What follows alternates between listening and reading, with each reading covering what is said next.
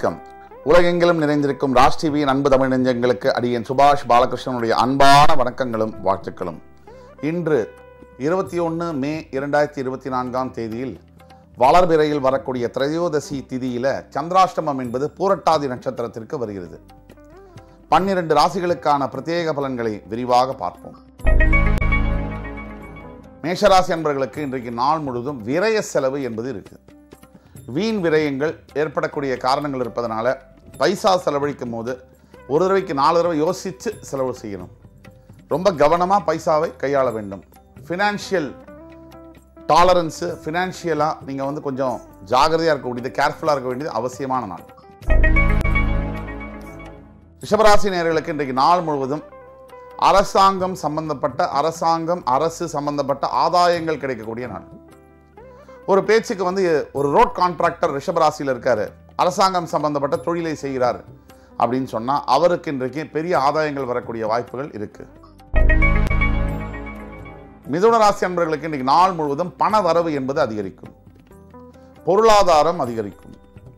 Liquidity finance சம்பந்தப்பட்ட பிஸ்னஸில் இருக்கக்கூடிய மிதுனராசி அன்பர்களுக்கு பேங்கிங் செக்டரில் வேலை செய்யக்கூடிய மிதுனராசி அன்பர்களுக்கு ஐடி துறையில் பணியாற்றக்கூடிய மிதுன மிதுனராசி அன்பர்களுக்கு நாள் முழுவதும் பண வரவு அதிகமாக இருக்கும். கடகராசி அன்பர்களுக்கு இன்றைக்கு நாள் முழுவதும் சற்று தடைகளும் தாமதங்களும் ஏற்படக்கூடிய நாளாக இருக்கு. இந்த மாதிரி நாட்களில் முக்கியமான விஷயங்களை தள்ளி போடணும். செய்யக்கூடாது. கடகராசி அன்பர்களை பொறுத்த வரைக்கும் ஒரு நிலையில் இருக்க மாட்டாங்க. எப்போவுமே ஒன்றுக்கு ஒன்று மைண்டு மூவ் ஆகிட்டே இருக்கும். அந்த நிலையில் இருப்பதனால இன்றைக்கு தேவையற்ற விஷயங்களை தவிர்ப்பது நல்லது. சிம்மராசி நண்பர்களுக்கு இன்றைக்கி நாள் முழுவதும் ரொம்ப நல்ல நாளாக இருக்கு. அருமையான உறவுகள் அருமையான சந்தோஷம் குடும்பத்துடன் மகிழ்ச்சியாக சுற்றுலா செல்வது போன்ற அற்புதமான நாளாக இருக்கு. சிம்மராசி நண்பர்கள் அன்புக்காக இயங்கக்கூடியவர்கள் நீங்க.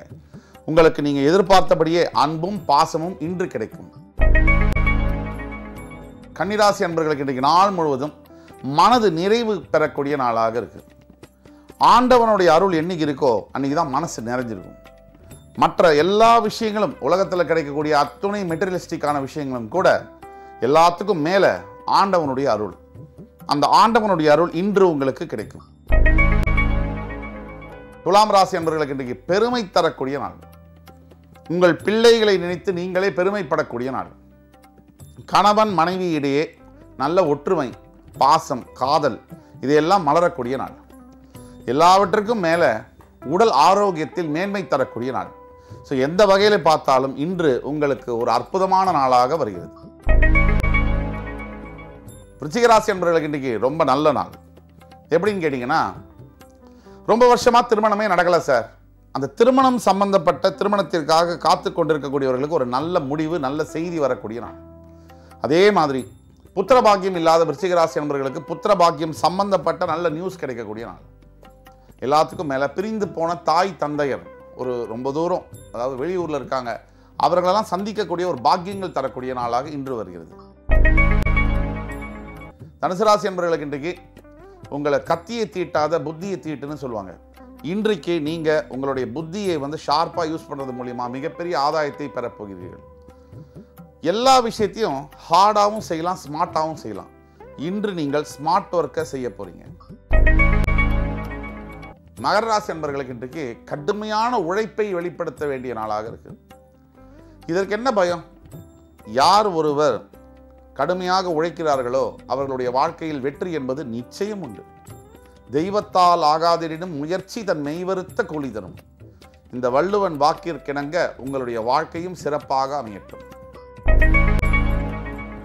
கும்பராசினியர்கள் இன்றைக்கு நீங்கள் எந்த இடத்துல யார்கிட்ட போய் எந்த உதவி கேட்டாலும் கிடைக்கும். ஒரே ஒரு கண்டிஷன் அது நல்ல உதவியாக இருக்கும் எண்ணங்களில் ரெண்டு வகை தான். ஒன்று நல்லது ஒன்று கெட்டது. எல்லா நல்ல எண்ணங்களையும் நல்ல முடிவே ஏற்படும். தீய எண்ணங்கள் இருக்கும்போது தீய முடிவு தான் ஏற்படும். ஆக இன்று தீயவற்றை தவிர்த்து நல்லவற்றை தேர்ந்தெடுங்கள். மீனராசினியர்களுக்கு இன்றைக்கு தேவையில்லாத அலைச்சல் தேவையில்லாத பயணம் தேவையில்லாத நண்பர்கள் சந்திப்பு போன்ற நாளாக இருக்குது இந்த வாழ்க்கையில் நம்ம ரொம்ப யோசிச்சு பார்த்தோம்னா பல பிரச்சனைகள் ரொம்ப ஸ்லைட்டாக தேவையில்லாத இடத்துல தான் ஆரம்பிச்சிருக்கும். அதுக்கப்புறம் தான் அது பூதாகாரமாக வெடித்து பெருசாகும். இன்றைக்கு எல்லாவற்றையும் தவிர்க்க வேண்டும். இக்னோர் பண்ண வேண்டிய நாள். இன்று இருபத்தி ஒன்று மே இரண்டாயிரத்தி இருபத்தி நான்காம் தேதிக்கான பன்னிரண்டு ராசிகளுக்கான பிரத்யேக பலன்களை விரிவாக பார்த்தோம். அத்துணை ராசிக்காரர்களுக்கும் எம்பெருமான் முருகப்பெருமான் சகல சௌபாகியங்களையும் தந்து அருள் புரிவார் என்ற நம்பிக்கையுடன் உங்கள் அத்துணை பேரிடமிருந்து விடைபெறுவது உங்கள் சுபாஷ் பாலகிருஷ்ணன். நன்றி வணக்கம் வாழ்க வளமுடன்.